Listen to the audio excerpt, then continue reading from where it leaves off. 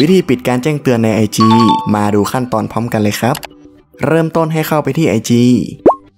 เข้ามาแล้วนะครับ ให้กดโปรไฟล์ทางด้านขวาล่าง เสร็จแล้วนะครับ ให้กดขีดซ้ำขีดตรงนี้ ต่อไปกดการตั้งค่าและความเป็นส่วนตัว เสร็จแล้วนะครับ ให้มากดเมนูการแจ้งเตือน ในหน้านี้เราสามารถปิดการแจ้งเตือนใน IG ได้หลายแบบเลยนะครับ อย่างเช่น ข้อความเนาะก็ให้เรานะครับ กดเข้าไปที่ข้อความ ในข้อความนะครับมันก็จะมีการแจ้งเตือนขึ้นอยู่หลายรูปแบบ อย่างเช่นนะครับถ้าเราอยากจะปิดการแจ้งเตือนของเพื่อนใน IG หรือว่าแชทก็สามารถมาปิดในหัวข้อนี้ได้ หรือว่าจะเป็นการแจ้งเตือนที่เพื่อนๆหลายคนนะครับ มักจะนิยมปิดกันในช่วงนี้ คือการแจ้งเตือนจากช่องบอดแคสต์ตรงนี้นะครับ เราก็สามารถมาปิดในส่วนหัวข้อนี้ได้ก็จะมีอีกตัวเนาะคำเชิญเข้าร่วมช่องบอดแคสต์สามารถมากดปิดตรงนี้ได้ ที่เหลือนะครับเพื่อนๆก็ลองไปเช็คดูนะว่า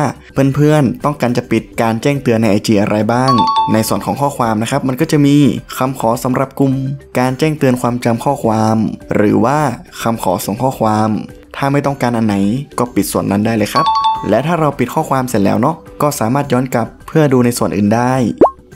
อย่างเช่นนะครับในหน้านี้เราก็สามารถปิดการแจ้งเตือนไลฟ์สดได้ โอเคครับ ย้อนกลับในหน้านี้เนาะ